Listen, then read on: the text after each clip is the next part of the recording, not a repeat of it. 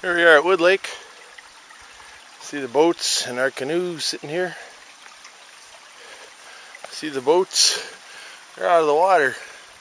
Water's gone down considerably. So now I got to bail, but uh, nobody's been here for a while, so we're what we call dry docked.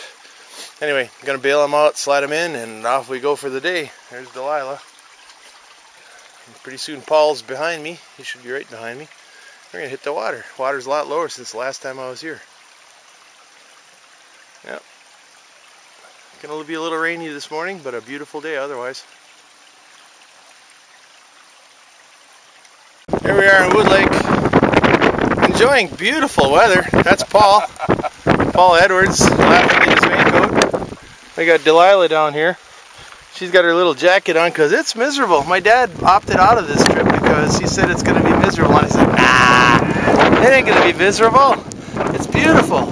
And so anyway, we're testing out the water of this camp. Get some more bobbing action on Wood Lake.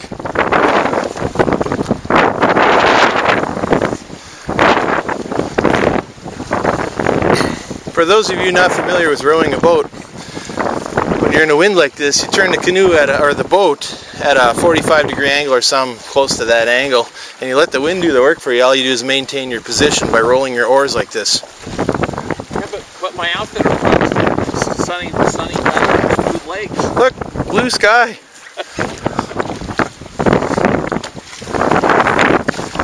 and white caps. Whoa, that's a good one. Whoa. Oh, that one almost came over.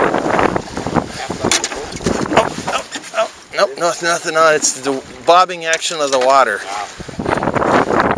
Camera this way. There we go. On our second trip, we were coming out after the bear had gotten to our bag. He was tied up in the tree. That would have been like 91 or 92. Yeah.